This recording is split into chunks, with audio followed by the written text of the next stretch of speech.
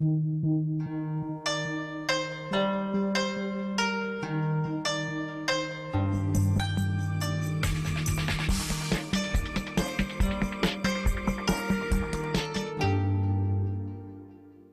好，观众朋友，欢迎收看《国宝档案》。古代海上丝绸之路外销的产品中啊，最著名的包括茶叶、丝绸和陶瓷。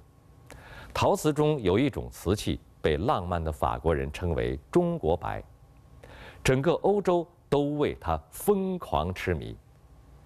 那么，中国白是什么瓷器呢？欧洲人为什么对它如此狂热呢？中国元朝至元年间的一天，福建泉州港的码头上，几艘巨大的商船已经整装待发。这时，一个高鼻深目的外国人指挥工人，又将两箱器物装上大船。眼看着器物被一排排码放整齐，外国人才满意的点点头。这个人就是意大利著名旅行家马可·波罗。他最后又装上船的货物是泉州当地生产的瓷器。马可·波罗在泉州已经游历一段时间了，他看到这里的港口每天都是一派繁忙的景象，大批商人云集于此，买卖的盛况令人难以想象。在泉州，一切生活必需品都非常丰富。当地生产的瓷器品质精良，而且物美价廉，一个威尼斯银币就能买到八个瓷杯。所以在马可·波罗离开泉州回归故里时，他不顾山高水长、路途遥远，专门携带了大量泉州当地的瓷器。原来宋元时期，瓷器成为海上丝绸之路最大宗的外贸商品。在泉州港，这种最具中国特色的器物被源源不断地装上货船，运往世界各地。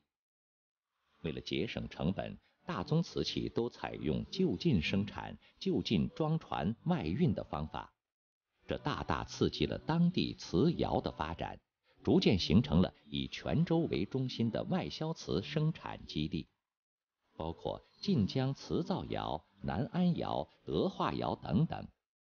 其中，德化窑历史悠久，生产的瓷器产量最大。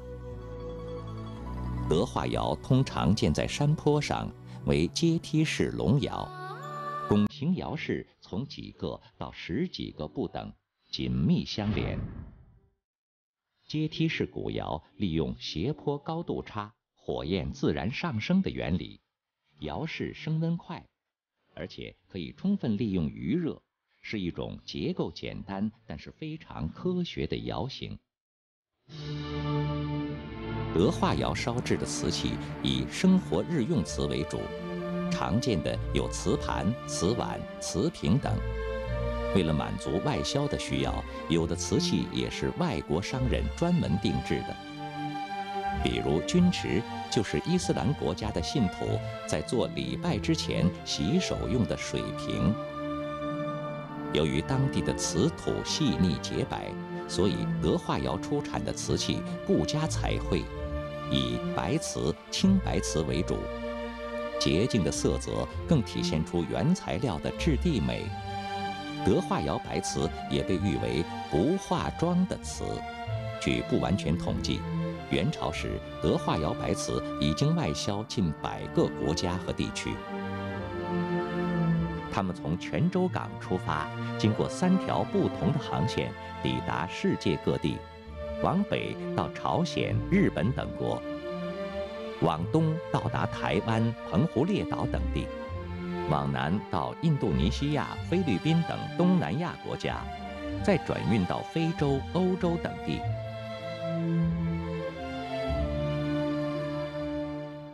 宋元时期啊。德化窑外销瓷呢，以生活日用瓷为主。到了明代啊，随着工艺水平的提高，德化窑外销瓷呢更趋于工艺化，变成了一种装饰品。整个欧洲都为它痴迷。明朝嘉靖年间，在德化一户人家的窗口，隔一段时间就会摆上一件新的瓷器作品，瓷塑人物洁白通透，栩栩如生。过往的路人都觉得奇怪，经常聚集在这里，七嘴八舌，对瓷器作品评头论足。瓷器作品的主人在旁边默默地听着。只要有人挑出毛病，作品稍有瑕疵，他就会把瓷器直接打碎毁掉。最终，只有他认为百分之百完美的作品才会留存下来。这个人就是著名的瓷圣何朝宗。原来，明朝的时候，德化窑的瓷艺师们逐渐发现，当地的陶土很特别。普通的陶土比较软，容易变形，而德化的陶土可塑性极强。瓷艺师们逐渐将瓷器与雕塑艺术相结合，用优质的白瓷制作出形态不一的佛像、传说中的神仙、古代名人高士等等，瓷器雕塑应运而生。而其中最著名的瓷艺家，也是将德化瓷塑艺术推向极致的，就是何朝宗。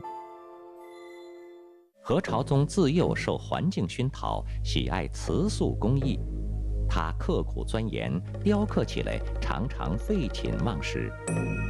有一次，何朝宗烧制了一百尊观音像，由于这批瓷器早就定制出去了，何朝宗烧得格外认真。严格控制着每一个环节。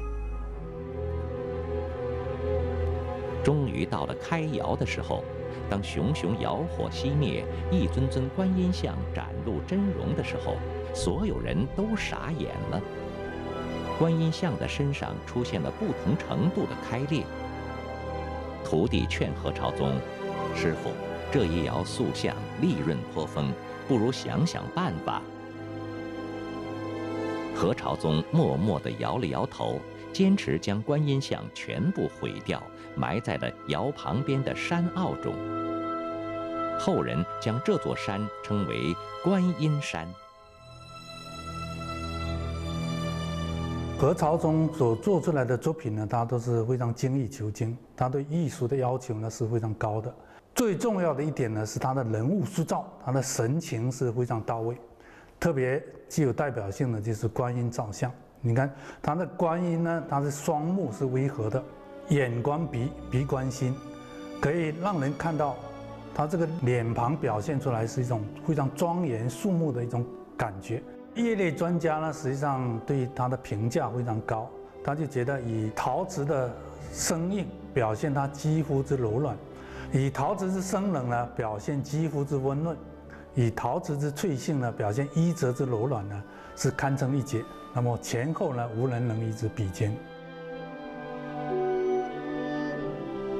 每当有了得意之作，何朝宗都会在瓷器作品后面留下专门的葫芦形或方形印章，内刻“何朝宗”三个字。以何朝宗为代表的明代德化白瓷，逐渐形成独特的瓷塑风格，以繁复奇绝的雕塑工艺著称。如卷似玉的人物塑像，精雕细琢的工艺瓷，如梅花杯、公道杯等，一经销往海外，就受到欧洲贵族的热捧。浪漫的法国鉴赏家将这种瓷器呢称为“中国白”，认为它们是中国瓷器中的上品。在皇室贵族的热捧之下呀，大宗的外国订单通过海上丝绸之路源源不断的进入中国泉州。十七世纪的一天，在德国有一位奥古斯都大帝坐在皇宫中。正拿着几件洁白的瓷器，爱不释手。这些瓷器都是从遥远的中国泉州出发，经海上丝绸之路漂洋过海，最终到达德国的。自从第一次见到这种中国的白瓷，奥古斯都对它的喜爱就到了疯狂的程度。他大量搜集、购买中国白瓷。然而，欧洲也出现了白瓷供不应求的局面，白瓷比黄金还珍贵，有钱也经常买不到，怎么办呢？奥古斯都决定派人专门仿制白瓷。他召集了全国最好的巫师、工艺师，把他们关在皇宫秘密的地下宫殿里，要求他们仿制中国白瓷。奥古斯都下达命令道。仿制不出中国瓷器，就要你们的命！巫师和工艺师们提心吊胆，绞尽脑汁。由于瓷器是中国人的发明，欧洲人并不知道瓷器是如何烧造的。他们发现这些瓷器坚硬洁白，很光滑，觉得很有可能是用某种动物的骨头做成的。于是，他们反复利用各种动物骨头。